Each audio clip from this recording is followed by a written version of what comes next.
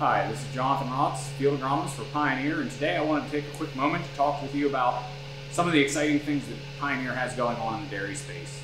Probably are well aware of our outstanding silage corns, BMRs, inoculants, alfalfas, and, and all the exciting things we have going on there. But did you know that there's a soybean that we sell as well that can actually help with uh, what goes in here? That's right, I'm talking about Plenish oleic soybeans. So, what exactly is Plenish? Plenish is a high oleic soybean. What does that mean? It means that Plenish soybeans have a higher oleic content than a traditional commodity soybean. Now, what does this mean to dairies? One of the main things that we really focus on right now in the dairy market is components. Linoleic oils have been shown to actually be able to suppress our butterfat or milk fat whenever they are introduced into a low pH rumen environment.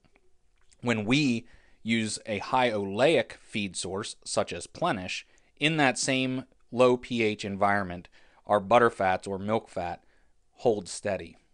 Plenish has also been studied by two major universities, University of Wisconsin and Penn State University.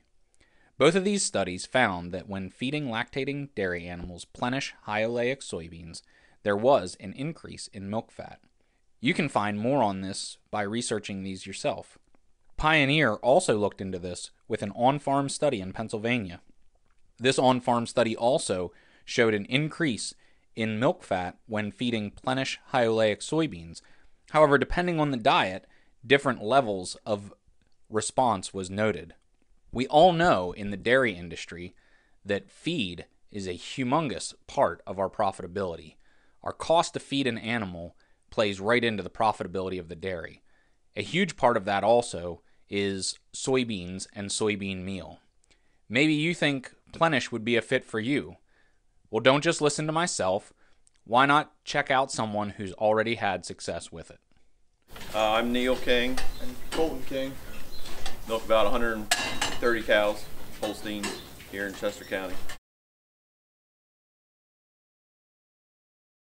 We saw the fat response. Uh, it went from a 3.8 to a, a 4.2, and uh, the protein went from a 2.95 to a 3 to a 3.1.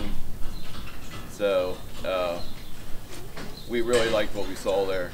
And we, we increased the pounds fed per head per day from four to six pounds. Okay. So we did all that at the same time. We, we harvested them there in November, and that's when we started feeding them. And uh, that's when we got the response we did uh, right away. Within, within a week after we started feeding them, uh, we, we saw the response.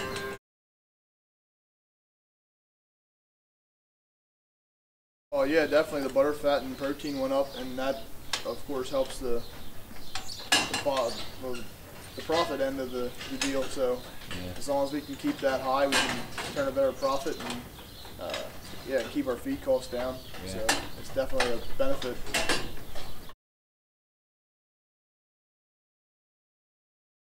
I was concerned with uh, yield drag. I didn't want to see a yield drag.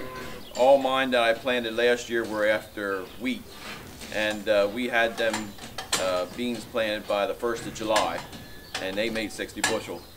So I don't think we had much of a yield drag there. So I'm going to plant them again this year.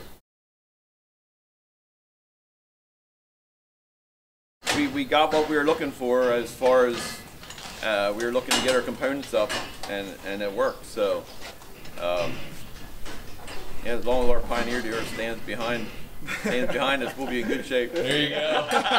cool. Thank you for watching. I hope you found this informative and helpful. If you need any additional information, please reach out to your local Pioneer sales representative.